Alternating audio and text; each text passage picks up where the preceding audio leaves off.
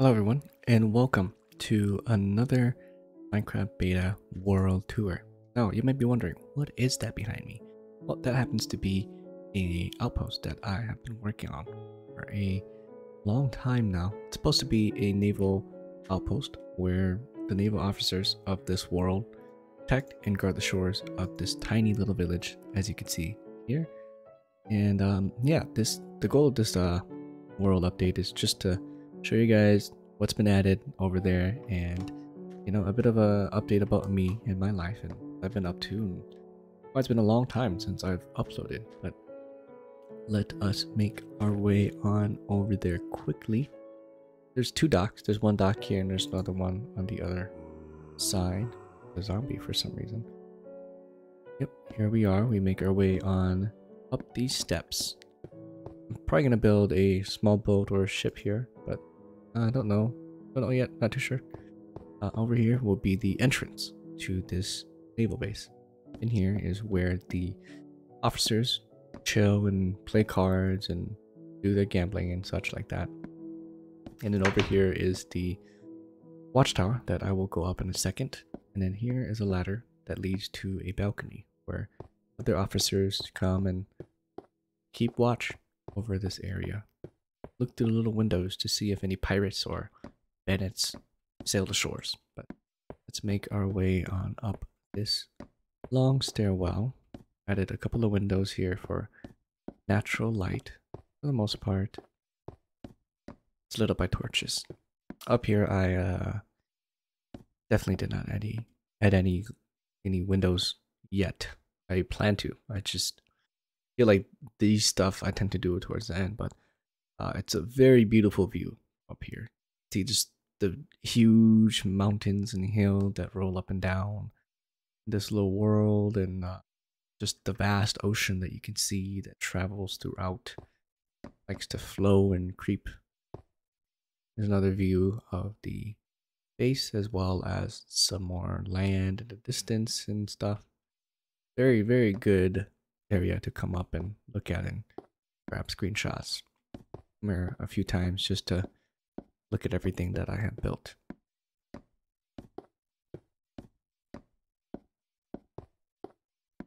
Okay. Now that we have toured this building, uh, we'll go across to this building through this little path that I made. And in here is the dormitory where a lot of the people who work here come and sleep. I've added some chests in here just for me to put my supplies and a bed for me to sleep in. Nothing too special. And then over here is a small storage room underneath the stairway. If you go on up, the first room over here is where the beds are located. They have one shelf for them to share all, and one clothes rack, as long as one chest and a bookshelf for all of them to share. And up here, you go up this fancy spiral staircase up to where the head honcho sleeps. Now, this is reserved for the captain, the, the boss of this naval base. Has his own private room, his own uh, closet and everything, all to himself. Doesn't have to share it with the other sweaty and dirty uh, naval officers. if we make our way on back down, we find ourselves in this area, little intersection. If we go to the right over here, we have a small little waterfall. I thought this was a nice addition to the gray color scheme. A lot of gray, and I think that makes the world very gray. Very, uh, not bright and vibrant. So seeing a little bit of green and some blue really adds some spark to this world. And this building, this purpose, uh, its purpose is to be a a study lounge or just a area where people can come and converse and they can hang out and talk or study the new techniques on warfare and stuff. And then we go on up here. Here's the larger, more important meeting lounge where more secretive things are kept hidden up here. A lot of things that uh, are kept away from the villagers. And then over here, a little small, tiny little mini garden. I haven't added anything in there yet, but I will soon. Then here is another watchtower that I have not fully furnished or any added any windows into. But yeah, uh, the villagers like to go back and forth and they drop off equipment and food and supplies to these uh, naval officers, and these naval officers they buy it off of them, and in in, in a in a in a relationship they uh, also get um some money back from protecting the villagers as well. I don't know what I was trying to say there, but you know what I mean. Uh, over here is the armory, the equipment room. They store a lot of their things and they train in here. Here's the front desk where the person who is on shift that day or night will keep track of who comes in and comes out. They have a clipboard and they, uh, you know, check people in and out. And once they're cleared, then they will go through this door, lead to this hallway that uh, leads to this little storage room where they have most of their artifacts and um, equipment and belongings, and they have bookshelves lined up with all the information and history. And then if we continue on up these stairs, another area, a little lounge for people to come and just rest and sit if they feel like they need some privacy. And over here is the stairway that leads up another watchtower, which we will go up because I think that a very nice view. For this one, for some reason, I have added glass into. I don't know why I did, but yes, I did for this one. And uh, you can't really see too much. There's nothing too fanciful at the moment, but we'll perhaps extend and build over there even more as time comes. But there's a little uh, spire over there that someone mentioned in the video, and I'm gonna do a video with that, but just anytime soon. So keep a lookout. And we could see a little bit of the outpost. We look through that window.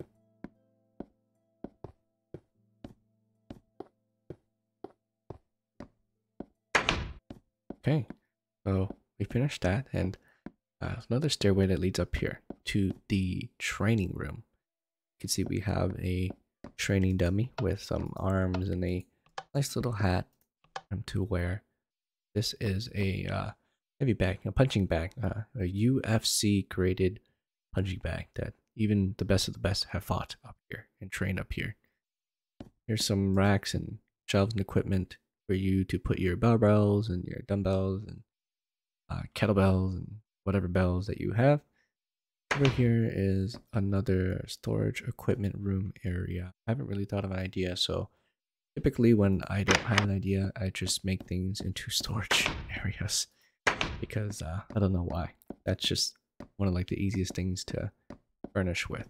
But if you have any ideas, let me know in the comment section below and we will do our best to change it and head on to it. Over here, here are the two last buildings that I have not completed yet. The smaller one here, I plan to turn into a granary where, uh, you know, the villagers come in and they drop off their items and resources and whoever's working at the gates over there will travel all the way over here a little cart and they will put them in here and store them in here. Why? Because this building here this large building the largest one i believe this is a cafeteria. Uh, i haven't thought of how i want to proceed with this building. I thought about making a long table where all the you know, people who work here can come and sit down, the workers and the naval officers can sit down and share a large meal together. Hear that, or we'll have tiny little separate tables, or they can all sit down and we'll have a um, cafeteria, a little kitchen in that back room over there, where they come and uh, line up just like in school. You know, they get sloppy Joe or I don't know, teriyaki chicken, whatever you get at school, whatever's good and then we'll have a staircase that leads up to a balcony. I think balconies really uh, bring a good addition to any large builds and just makes the makes the interior a lot more roomy, a lot more cozy. Then we'll have a third floor where the top secret top secret people go up and they have a large map that they could, you know, discuss discuss their strategies and you know information and just things like that. But yeah, that's the tour of this naval base that I have been building. I guess the thing that takes the longest time is mining all the cobblestone and turning them all to turning them all into stone, as well as the glass. But while we're here and I have some glass, I should go and actually fill up the top part of this watchtower. Let's make our way on up here. But um, anyways, it's been a long time since I have uploaded. It's mainly due to because uh, I've been trying to finish up my undergraduate degree, which I have, and I have graduated uh, with a bachelor's. But now I'm currently pursuing a master's in user experience design, or in short, UX design. And uh, I'm enjoying it so far, but you know, semesters is the semester has only started. Took another year of school to continue, so wish me luck. But yeah, a lot, a lot of the reasons why I haven't been uploading is due to school, due to summer activities, and due to probably the largest reason being just very burnt out, you know, from um, you know, making YouTube videos and thinking of ideas, and uh, I needed a good break, you know, from this channel, from content creating, and I think a large part that plays into that is just being a small channel. Being a small channel on YouTube is very hard. It takes a lot of time. It's something that I still need to sort of wrap my head around and start to accept and make peace with myself that things aren't going to blow up overnight. You know, that for the most of us who are average Joes, who are typical people, we can expect for things to blow up overnight. A lot of it takes time um, and a lot of effort and energy. So props to those who are able to do it. But for me, it's definitely taking a long time to do. And it takes a toll on me because, you know, this channel, if you didn't know, it used to be a um, Phasmophobia channel. It used to be a horror game channel. And uh, it had its fair share of success. So uh, the way the state of this channel at the moment is definitely a, a very far fall from grace. It's no longer what it used to be. And uh, it, it, it sucks sometimes, but it is what it is. And the reason why I have decided to sort of stray away from that path is because it just wasn't a very sustainable lifestyle for me to continue to play um, those kind of games and pretend to be someone that I was not. You know, I think that that was probably the biggest issue that I had was most of the people who played Phasmophobia or um, created content around those things, they had to put on a face, you know, like their content creating face or their missing one log. God, I guess we go back you know they had to be someone else. And I, I just can't do that. Props to them for being because right now they're being they're very successful you know and congrats to them because they worked hard to get to it. Um, but that's just not my style. I think that i want to be genuine and if i enjoy a game then i enjoy the game. And the audience can tell when you enjoy the game. You don't have to pretend that you have fun when you're playing the game. And recently i've tried to go back and play some phasmophobia and see how i feel and it's just no longer like same anymore. I, I just don't have. It, it'll be always a special place in my heart. It's no longer the same. Let's just say that. And I couldn't pretend to be someone that I was not. And so I've uh, rebranded this channel a few times. It was a variety gaming channel. It was a Phasmophobia channel. Semi Planet Zomboid channel. Minecraft channel. But I found that the game that really stuck out to me the most that I came back to time after time always mine. Minecraft will always hold that special place in my heart. At the game that I come back to time after time. And even now, I still do. So, uh, I rebranded it to Minecraft. In particular, um, beta Minecraft, old school style Minecraft. I have like a bunch of shorts that I just make of old build styles or decor or interior designs that you know have existed throughout the history of Minecraft. And it has lead to has led to where we are now. Um so yeah, I uh, plan to continue to grow and to continue to sort of upload and um, at least once a week, you know, at least upload a video a week and make you know content like this gearing towards a more um not a much older audience, but an audience who enjoys the nostalgia, an audience who likes the slower paced gameplay of the world. I guess, uh, slower paced gameplay of Minecraft as compared to a fast and highly edited, oversaturated version of the game. I think that um, Beta Minecraft just brings out brings out a lot of nostalgia, and it reminds me a lot of better days, and it, it, makes me feel like I'm actually enjoying the game, you know, with its challenges that it poses, its simpler times. I think that it's just hard to explain, but you know what I mean. If you tried it, then you just remember the smells, the taste, the feelings, the old videos, old memories, simpler times, you know, when when the world was much much more simple. You know, the emergence of the internet, the popularity of games and certain channels when people used to actually be genuine, I guess you could say. And the the content creators that you see behind the screen and the voice that you listen to, there were also people that had hopes and dreams who were also uh, capable of thought just as much as you were. No longer are they like the people of today that are just, you know, uh, like certain YouTubers, you know what I mean? I don't want to call out any names, but you know what I mean. You know who they are, right? and they know who they are too who do it for the views, who do it for um the clout. But I think uh, for me, I just want to share my, my experience with all of you, you know, and my thoughts, and keep this preserved throughout the the sea of time. Uh, keep a memory of myself, keep my existence preserved through through through these videos. I guess you could say. Know, it's a very we started to get very deep and philosophical. Is that too much, guys? Maybe it is. Let's chill a little bit, all right? Yeah, that that's basically kind of the goal is to share my laugh and share my joy and share my laughter and share my uh, experience with everyone. Because at the end of the day, we're all we're almost all the same, you know, for the most part, with few minor discrepancies. But we shouldn't let that stop uh, each other from growing and becoming better people.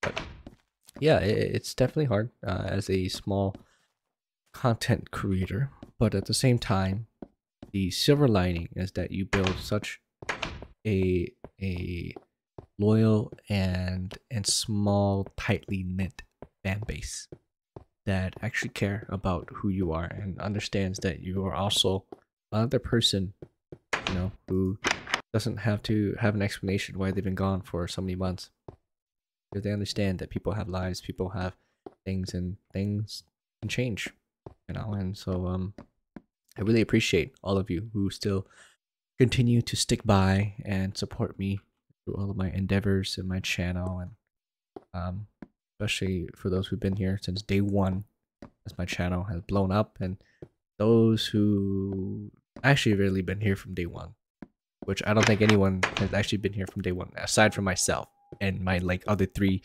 uh, channels that I've subscribed to my shelf. My shelf, you know, that was gonna. If you're not gonna support yourself, no one's gonna support you. But yes, um, thank you all. Thank you all from the bottom of my heart for continuing to click on these videos and watch my channel. But um, to keep things short, um, I will be trying to upload more videos and come up with more and more entertaining ways to to keep you guys all engaged, especially in this small little niche that I have, small little niche that uh, people are trying to grow in. And I, I hope to see you guys try this version of the game as well, and let me know what your thoughts are. But uh, let's uh, let's wrap up this video. Thank you guys very much for watching. Thank you guys for your support. Uh, make sure you leave a comment in the comment section below about what you think and uh, please leave a like, subscribe if you haven't already. I will see you guys in another week. Goodbye, everyone.